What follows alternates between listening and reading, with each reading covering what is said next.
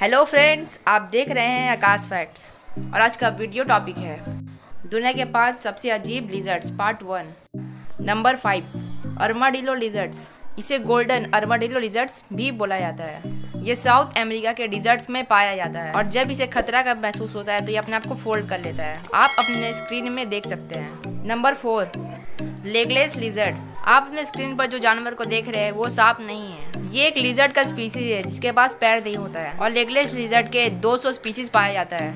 इस लिजर्ड का साइज़ उसके स्पीसीज पर डिपेंड करता है। बहुत सारे स्पीसीज सांप जितने बड़े होते हैं और बहुत सारे अर्थवॉर्म जैसे होते हैं।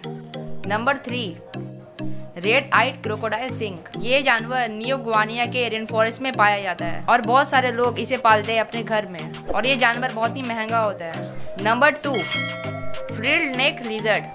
इस जानवर को फ्रिल्ड ड्रैगन भी बोला जाता है। और ये न्यू गुआनिया और ऑस्ट्रेलिया में पाया जाता है। इस जानवर के नेक में जो पर्दा है, वो उसके बॉडी टेम्परेचर को मेंटेन करता है। और ये जानवर को जब खतरा महसूस होता है तो ये दो पैर में दौड़ने लगता है। Number one, common basilisk.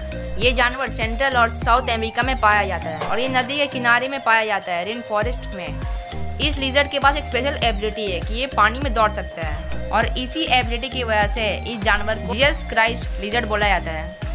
आज का वीडियो यहीं पर खत्म होता है। वीडियो अच्छा लगे तो लाइक करें और इस वीडियो को और मेरे चैनल को सब्सक्राइब करें। अगर आपको इस वीडियो का नेक्स्ट पार्ट चाहिए तो कमेंट में बता दें। या किस टॉपिक पर वीडियो चाहिए ये भी बता दें। Bye friends thanks for watching